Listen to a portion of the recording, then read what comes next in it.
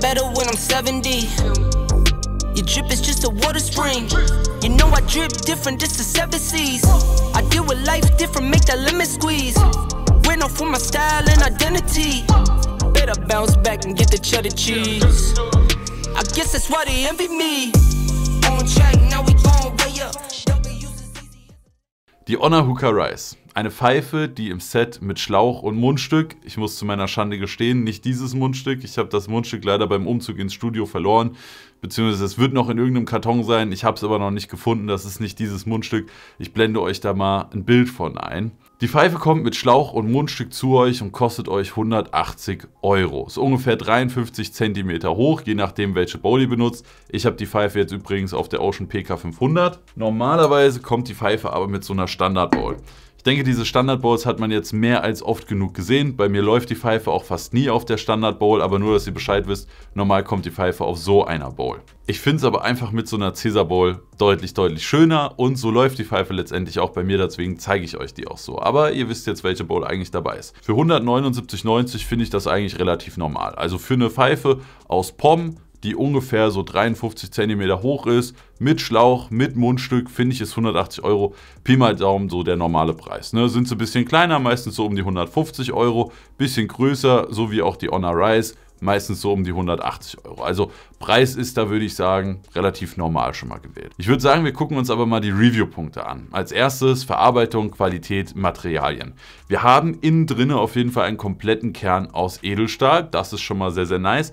Es sind auch keine Gewinde in das POM geschraubt, weil POM haben wir A an der Base und auch an der Rauchsäule. Der Schlauchanschluss ist, wie man es zum Beispiel von der Breeze 1 kennt, mit zwei O-Ringen gelöst. Ist nicht meine Lieblingslösung, funktioniert aber vollkommen in Ordnung. Ne? Der geht jetzt nicht super easy rein, dafür sitzt er aber auch sehr, sehr gut und ich hatte bis jetzt noch keine Probleme, dass mir da irgendein O-Ring gerissen ist. Wäre aber auch kein Problem, bei mir in der Packung lagen eh noch zwei O-Ringe dabei, könnte ich also noch austauschen, falls das irgendwann mal passiert. Bis jetzt zum Glück noch nicht passiert. Aber auf jeden Fall ein Schlauchanschluss mit zwei O-Ringen. Von der Verarbeitung her habe ich keinerlei Mängel. Ich habe weder irgendwelche Kratzer im POM noch im Edelstahlteller gehabt. Der Teller auch mit einem sehr, sehr schönen Muster versehen. Kommen wir aber gleich nochmal im Design drauf.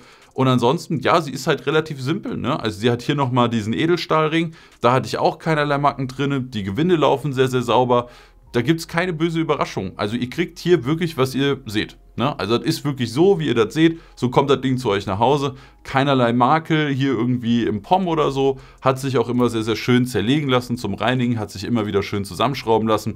An den Gewinden keine Probleme, an den Materialien keine Probleme.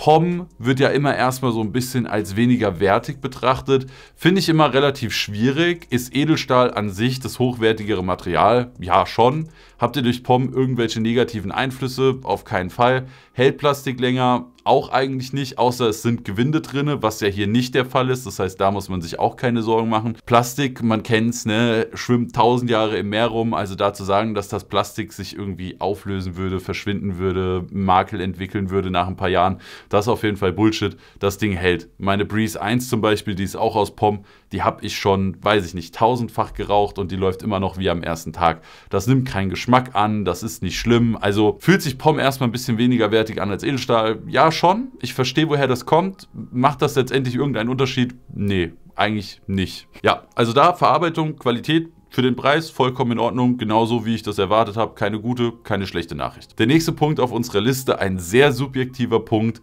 das Design. Ich sage es immer wieder, die Pfeife muss euch gefallen, nicht mir. Ich kann euch nur kurz sagen, was ich schön an der Pfeife finde, was ich weniger schön an der Pfeife finde. Aber ob ihr die letztendlich geil findet und ihr die daheim haben wollt, rein von der Optik, das müsst ihr selber wissen. Also zu der Verarbeitung kann man immer schön was erzählen und auch zu der Qualität, das kann man immer schön beurteilen. Wie das Rauchverhalten ist, kann ich euch immer ganz gut erzählen. Aber ob euch das Ding gefällt oder nicht, das müsst ihr selber wissen. Mir gefällt sie gut. Sie ist sehr, sehr simpel. Deswegen ist es für mich auch fast ein Muss, die Pfeife noch auf eine ausgefallene Bowl zu packen, wie zum Beispiel hier die PK 500.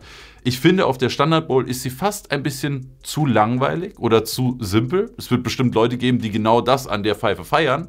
Für mich muss da aber noch eine schöne Bowl drunter, die dann doch noch mal ein bisschen was hermacht, damit das Ganze noch ein bisschen eindrucksvoller auf dem Tisch ist, wenn ihr die Pfeife raucht. Vom Design an sich finde ich sie schön. Sie ist relativ simpel. Die Base ist wahrscheinlich das Besonderste von ihrem Format. Es ist so ein bisschen wie so ein Hockeypuck, der aber oben noch ein bisschen konkav ist.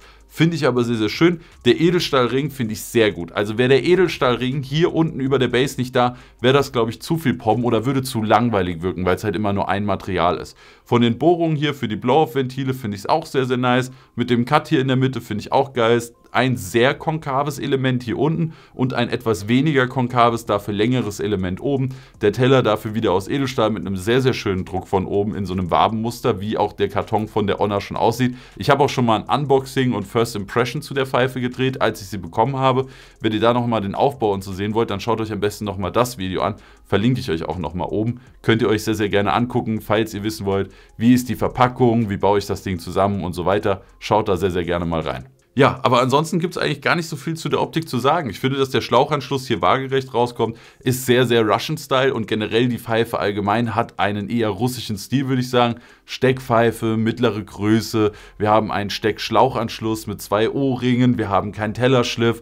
Das ist schon praktisch so die komplette Checklist, so How to Russian Hookah. Das hakt die Honor da auf jeden Fall alles ab. Ich finde sie simpel, ich finde sie schön. Für mich muss sie aber auf eine geile Bowl. Ansonsten ist sie mir ein bisschen zu simpel.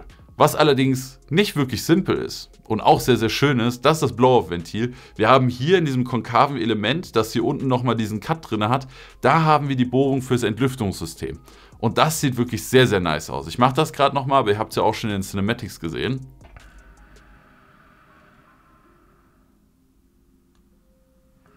Da kann man dann auch ein bisschen mit rumspielen. Pustet man weniger stark, fällt das Ganze hier schön über die Bau nach unten. Pustet man stark, schießt das hier wirklich geil seitlich weg. Ich glaube, so haben wir das Entlüftungsventil noch gar nicht gesehen. Es gibt ein paar, die entlüften an der Base nach unten und ein paar, die entlüften von der Base schräg nach oben. Aber dass das so knapp über der Base nach unten entlüftet, das hatten wir, glaube ich, noch nicht und sieht sehr, sehr geil aus. Jetzt kommen wir aber zu dem wichtigsten Punkt bei dem Pfeifenreview und auch der Punkt, wo die Pfeife meiner Meinung nach am meisten glänzt. Die Verarbeitung war ja so, wie wir es erwartet haben, für 180 Euro. Oder wie ich das erwartet habe, für 180 Euro. Von der Optik her schön, aber simpel. Ne? Für mich sogar zu simpel auf einer normalen Bowl, auf einer schönen Ocean oder Caesar Glass Bowl. Sehr, sehr nice. Aber jetzt kommt der Punkt, der am wichtigsten ist. Für Leute, die auf dieses Russian-Style Hookah stehen, aber auf extrem guten Durchzug stehen und extrem einfaches Entlüften stehen, da ist die Schnittmenge von Pfeifen sehr, sehr klein. Aber genau in dieser Schnittmenge aus wunderbarem Durchzug, unglaublich einfaches Entlüften, aber Russian Style, genau da sitzt die Honor Rise. Ihr habt einen extrem guten Anzug, ihr habt einen extrem guten Durchzug und das Entlüften geht unglaublich einfach und hat auch noch irgendwie einen sehr besonderen, sehr niceen Sound. Das klingt irgendwie sehr wertig, sehr satt. Ich weiß nicht, ob ihr euch das jetzt vorstellen könnt, wenn ich das so beschreibe, aber so klingt und so fühlt das sich für mich an. Plus, es sieht dann auch noch geil aus. Aber Durchzug ist wirklich extrem geil. Ich würde sagen, ganz, ganz knapp hinter der Edition 4 von Aeon, also der Lounge. Der Edition 4 Lounge gebe ich immer so eine 9, 9,5 und die würde ich auch auf jeden Fall bei der 9 einordnen. Also wenn ihr den Wasserstand knapp über dem Diffusor habt, übrigens abnehmbarer Diffusor, schaut gerne nochmal das Unboxing-Video, da seht ihr das nochmal komplett. Der Durchzug ist wirklich brachial. Also für eine Pfeife in diesem russischen Stil ist der wirklich geisteskrank gut. Ich weiß nicht, ob ich überhaupt eine Pfeife kenne, im russischen Stil, die einen besseren Durchzug hat als die Honor Rise. Der ist wirklich brachial und auch das Entlüften geht unglaublich einfach. Und das ist für mich wirklich ein krass einzigartiges Feature an der Honor Rise, was sie so besonders macht, dass sie meiner Meinung nach für eine etwas kleinere Zielgruppe ist, aber für diese Leute genau das Richtige. Also wenn ich hier einen kompletten Zug nehme, dann dauert das gefühlt eine, anderthalb Sekunden also der Durchzug ist wirklich brachial. Und auch der Anzug ist für die Größe von 53 cm echt noch sehr, sehr gut. Fand ich auf jeden Fall überraschend. Finde ich besser als bei anderen gleich großen Pfeifen. Also, ich glaube, das ist auch schon ein ziemlich guter Punkt, um zu dem Fazit zu der Pfeife zu kommen. Wenn ihr eine Pfeife wollt, die im russischen Stil zu euch kommt, im russischen Design, eine Steckpfeife, kein Schliffanschluss am Teller, ein Steckanschluss am Schlauch, wenn ihr dieses Russian Feeling vom Style wollt, und eine simple Pfeife haben wollt, die aber einen brachialen Durchzug, einfaches Entlüften und schönes Entlüften hat, dann ist die Honor Rise für euch das Richtige. Lasst mir gerne eure Gedanken in den Kommentaren da, Daumen nach oben, Abo würde mich sehr freuen und dann bis zum nächsten Mal.